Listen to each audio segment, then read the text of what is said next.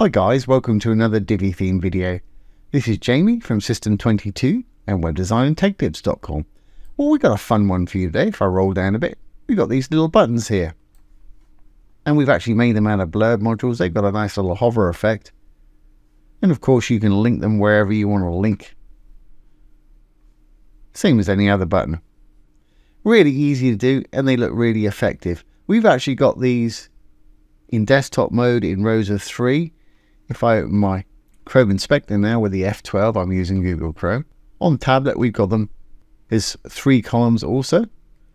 And then when we go on mobile, they're going to shrink down into pill-shaped buttons. I change this to iPhone 12.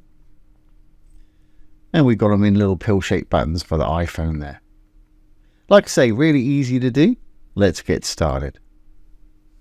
I'm going to enable the Visual Builder. Once enabled, let's go down where we want to start working and we'll just delete these. And delete that row, delete that row, and that row. And we'll start from scratch. Let's add a new row. Little green button for a row.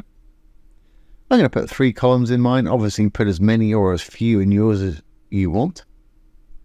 And inside that first left column there, I'm going to put a Divi blurb module. Now, blurb modules are absolutely awesome because you can have images, you can have text, you can have icons, you can link them to places. Obviously, put what you want your title to say there. Only want a little bit of content. Got no real content. Really imagining this with a title and a little subtitle there. As you can see, let's put that in over there. Let's close this up a bit.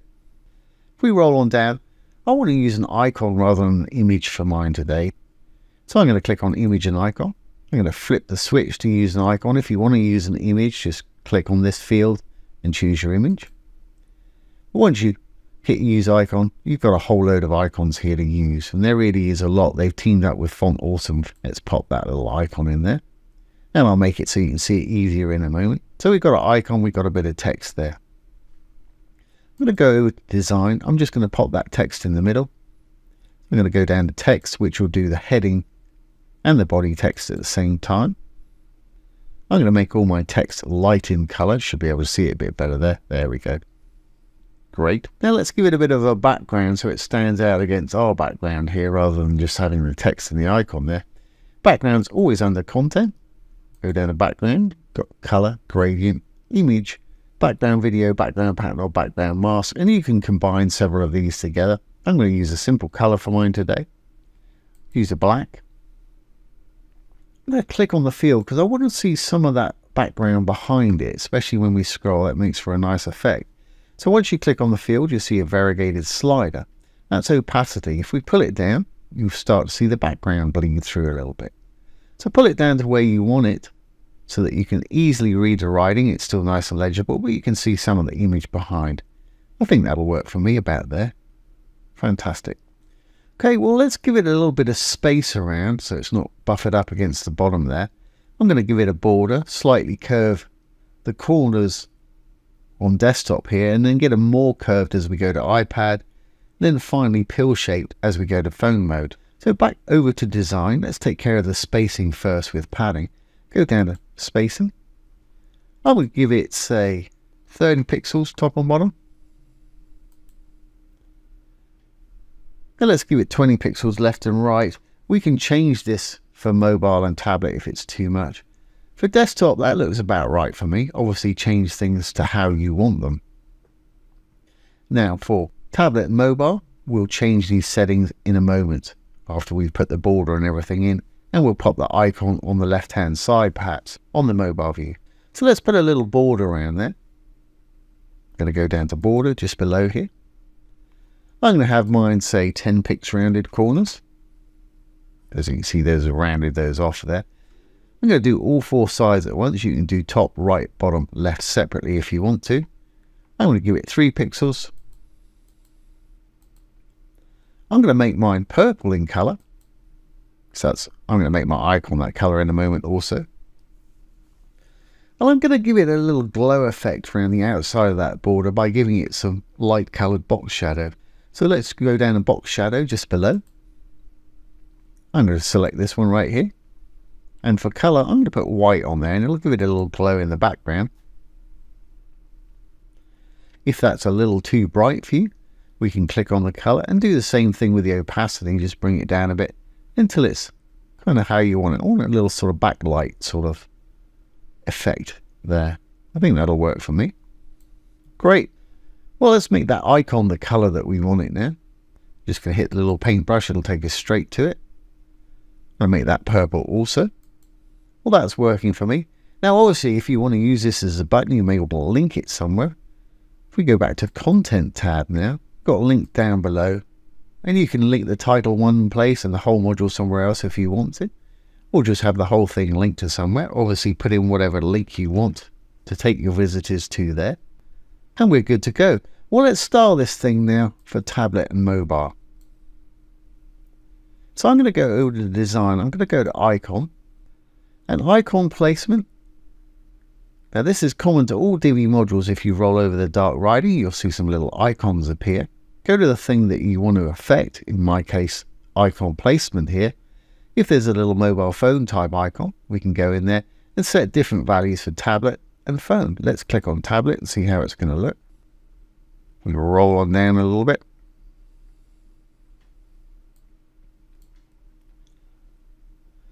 That's okay. I don't mind it being on top of each other on tablet. We could pop it on the left for the tablet and have it in line and change that padding by simply going down to where it says top there and flip it to left and you've got it on the left hand side. But for the tablet, I think I'm going to leave it on the top there and you can make it bigger obviously.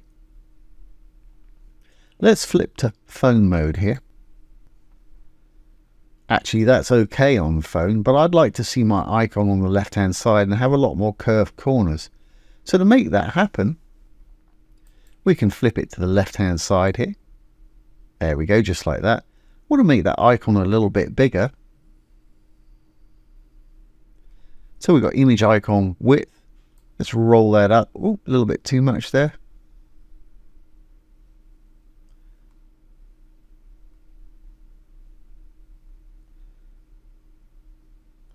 sort of want to line it up with the title there. Something like that's going to work for me. And then we want to give it a lot more rounded corners perhaps when it's on mobile. To do that, let's close up our image and icon here. We'll go down to border. And where it says rounded corners, let's go over and again hit the little mobile phone icon. Make sure that we're on mobile. And we can put in a different value for mobile. Let's try 50 pixels. That should make it sort of pill shaped maybe even a bit more. Try 70. There we go, that's kind of nice and rounded there. And we could adjust the padding on the left and push that over a little bit and maybe left align our text here. So let's close that border, spacing, padding, make sure we're on phone again. Go to the little phone icon, make sure we're in there. And padding on the left, let's uncheck this little chain here because I don't want to have the same on both sides. I'm actually going to give it a little bit more on the left there. Perhaps give it 30 pixels. That's great. And I'm going to left align that text and maybe take that title a little bit down in size. So let's go straight to the title itself. I'm going to hit the paintbrush. And again, hit the little mobile icon because we're working in mobile here. Make sure we do it for mobile. I'm going to left align that text. And I'm going to take it down slightly in size. Let's hit the little mobile phone icon. Now let's just take it down a little bit in size. Let's make it sort of 14. And the actual text itself, body text. Alignment again, make sure we get it on mobile or left align it. And we'll take it down just a little bit in size too. Again, little mobile icon. Let's take it down perhaps to 12. And obviously make yours whatever size you want. Now you want to double check these on the actual real devices if you've got the option, because you may need to adjust. Okay, let's take a look at it now on tablet. Yeah, that works for me. I think I might make those corners slightly more on the tablet version. So let's close up our body text here. We'll go back into our border and rounded corners again. Make sure we're on the tablet version. Let's take that up to maybe 30 pixels. Yeah, great. So we've got real rounded on phone a little bit rounded on tablet, and just a tiny bit rounded on desktop. Great. The only other thing I want to do with this, I want to make it grow slightly and have the border and background change on hover. So to do that, still in design, I'm going to close out border. I'm Going to go to transform. First little tab here is transform scale, which means make bigger or smaller. I want to create a hover, hover effect that makes it bigger.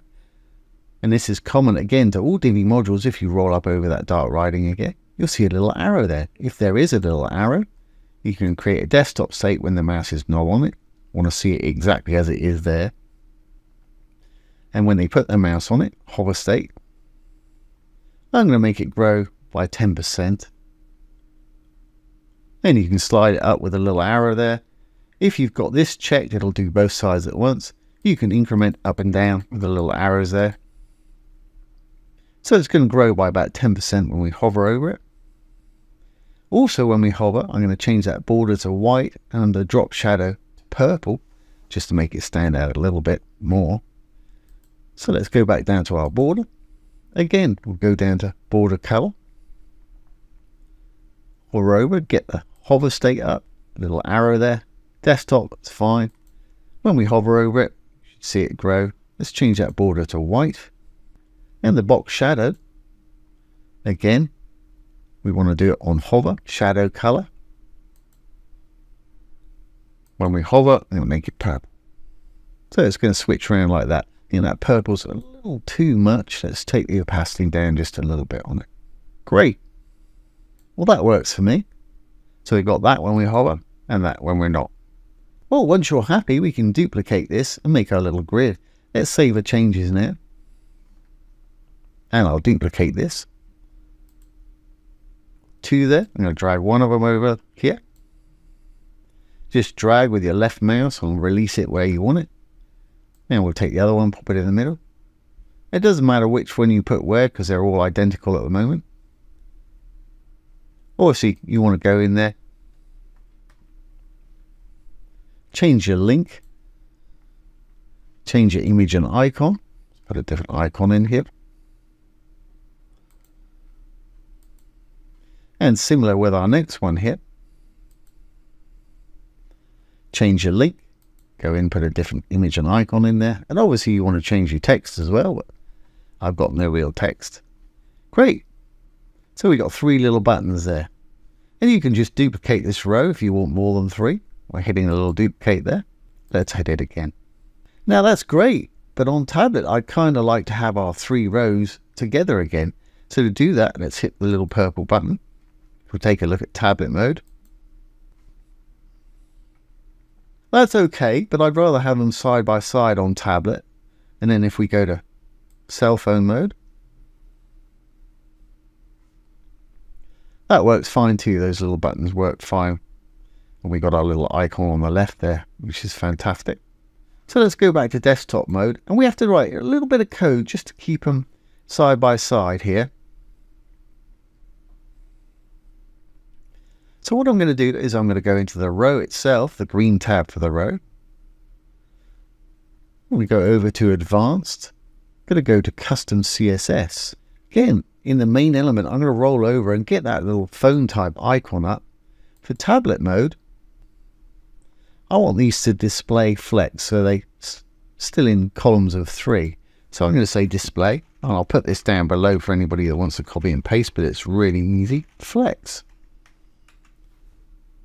And as you can see, that's turned it, that into a row of three now. Let's give it a little bit of margin in between.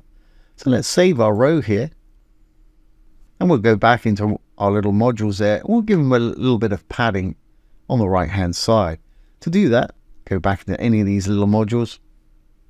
Gonna go to design, spacing. And again, I just want it on tablet mode. We'll go hit the little phone icon there, go to tablet mode.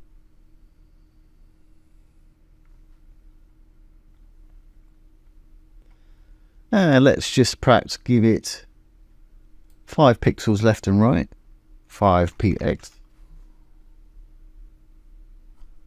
And on the right also. See, we've got a little bit of a gap there. When I add this to the rest of these here, they'll have more of a gap. And to do this easily, we can save what we've got going on here.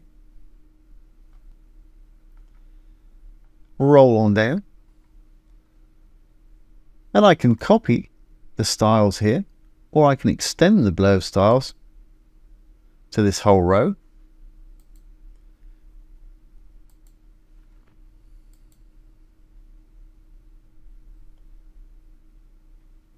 I can do the same for our other rows here by copying this style.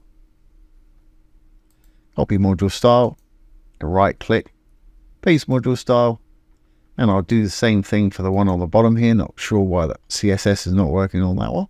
Paste module style. And then we can just extend to the row here. Okay, the last thing we need to do is actually just check this on mobile. So let's go to our mobile view here. And if we roll down on phone view, I don't think it's going to work because we've still got that display flex going on that particular row. So what we need to do is go into that row, green tab, little cog, over to the advanced custom CSS where we put that display flex. In the mobile phone version, need to write display block. And that pops them back one on top of each other just like that. And of course, we'll have to do that to these other rows. So let's just copy that. Roll on down to our next row. Advanced Custom CSS. Make sure you're on the mobile view. And we'll do exactly the same for our next little row right here. Advanced, custom CSS, mobile, display block. Fantastic. So we've got this on block, which is great. If you want to take a bit of the guttering away from these rows here, you can adjust the padding or the guttering in the row itself. If we look on tablet, we've got little columns of three that work great on the tablet there. And of course on desktop, We've got our original rows. Let's save this, make sure it's all going to work on the front end. We'll exit the Visual Builder. Roll on down to where we were working. And there we have it. There's our little buttons there. We can roll over. And it's got that little hover effect there. And of course, the link's going to take people wherever it is you want to take them. So there you go, guys. There's how to make some awesome little dynamic buttons using blurb modules. I hope you've enjoyed this today and found it useful. If you have, please give it a thumbs up, ring the bell, comment, share, and subscribe to our YouTube channel. Once again, this has been Jamie with System22 and WebDesignAndTechTips.com. Thanks for watching. Have a great day.